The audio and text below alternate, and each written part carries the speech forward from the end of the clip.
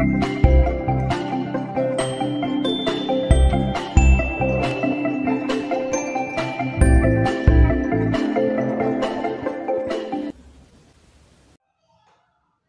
crianças, tudo bem?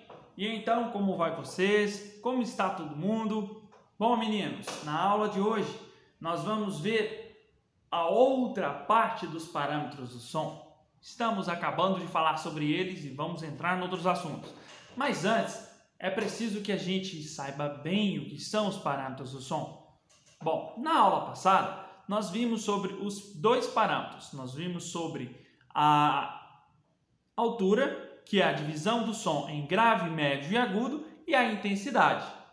Nós vimos que instrumentos e também sons da natureza podem ter sons graves, e instrumentos também podem ter sons graves, tanto agudos quanto também a natureza pode ter som agudo. Por exemplo, que o som grave é um som mais grosso e mais pesado, como tem o piano, que está no som do teclado que está aqui do meu lado.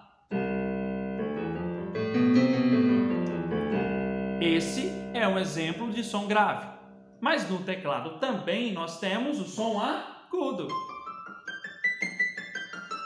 Ou seja, todo instrumento nós vamos ter sons graves e sons agudos. Se a gente falar de forma geral, por exemplo, quando a gente vê uma banda, quando a gente vê uma orquestra, nós vamos ter sim instrumentos que são graves e instrumentos que são agudos. Mas, no geral, todos os instrumentos podem ter sons graves sons agudos. Por exemplo, a minha voz e a sua voz. Se você falar, tentar falar assim, grossão, você vai ter um timbre ou uma característica de voz grave. Se você tentar falar assim, você vai estar falando agudo. Tudo bem?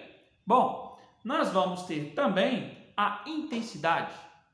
Intensidade é a força colocada sobre o instrumento. Ou seja, vou dar um exemplo para vocês. Vamos lá. Se eu for usar, tocar uma música mais fraquinha ou com menos intensidade, olha a característica que ela vai ter.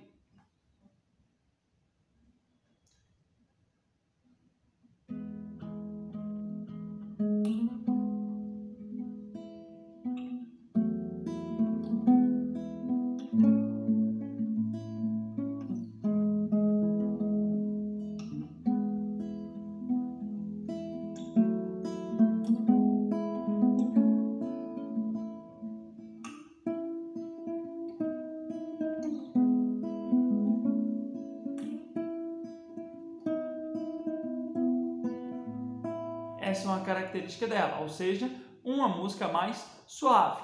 Eu posso ter também uma música que seja mais impactante, que tenha um som mais, uma intensidade mais, é, mais forte. Por exemplo,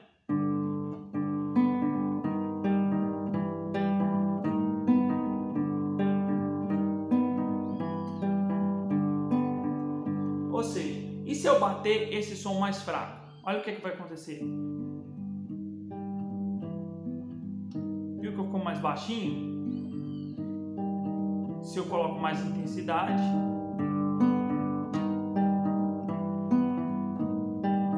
entendeu?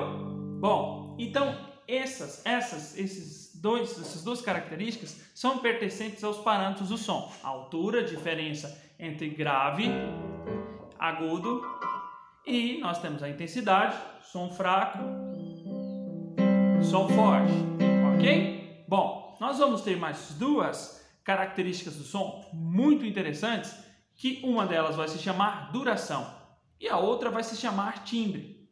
Duração, meninos, é muito fácil de entender. Ou seja, vamos, vamos pensar comigo. Vamos ouvir o som do piano.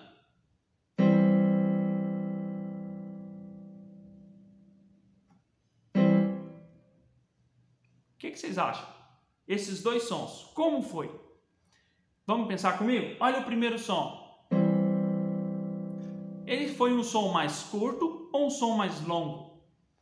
Ele foi um som mais longo. E o outro som que veio depois dele, um som curto. Ou seja, a música ela é composta não somente por sons longos e não somente por sons curtos. Nós não vamos ter uma música, por exemplo, que tenha somente sons longos e que tenha somente sons curtos.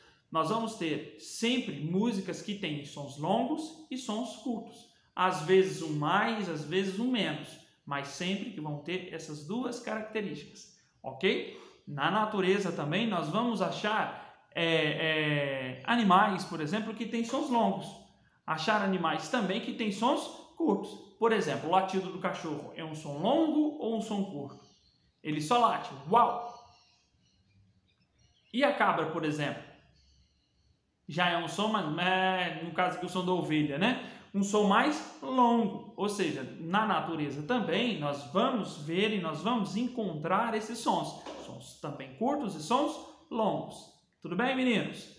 E a nossa quarta e última característica do som é o timbre. O que, que é timbre? Timbre, meninos, é a característica especial de cada instrumento. Por exemplo, em todo mundo só vai existir uma voz de Hawillian. Só vai existir timbre, por exemplo, esse timbre aqui. Como a gente falou, é um timbre de piano. Esse timbre é um timbre de violão. Ou seja, tem como no som do violão sair som de piano ou no som do piano sair som de violão? Não tem. Por quê? Porque cada instrumento tem seu timbre. Por exemplo, vamos falar do gatinho. O gatinho tem como latir igual o cachorro faz? Ou o cachorro, da forma que o cachorro late, tem como ele miar como o gato faz?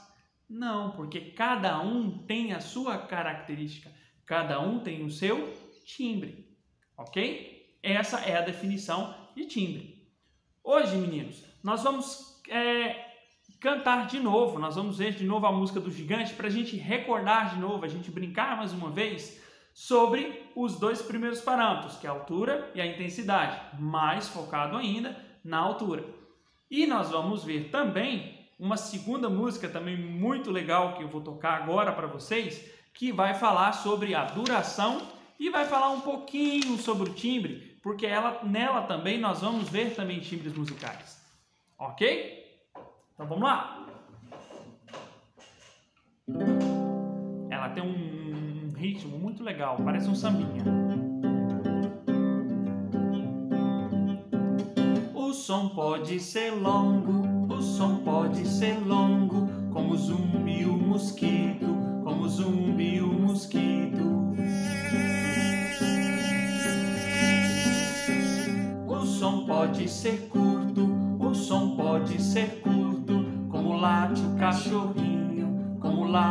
cachorrinho. O som pode ser longo, o som pode ser longo, como berra o cabrito, como berra o cabrito. O som pode ser longo, o som pode ser longo, como rio bebê, como rio bebê. O som pode ser curto, o som pode ser curto, como ronca o porquinho, como ronca o porquinho. O som pode acabar, o som pode acabar e o silêncio começar, e o silêncio começar.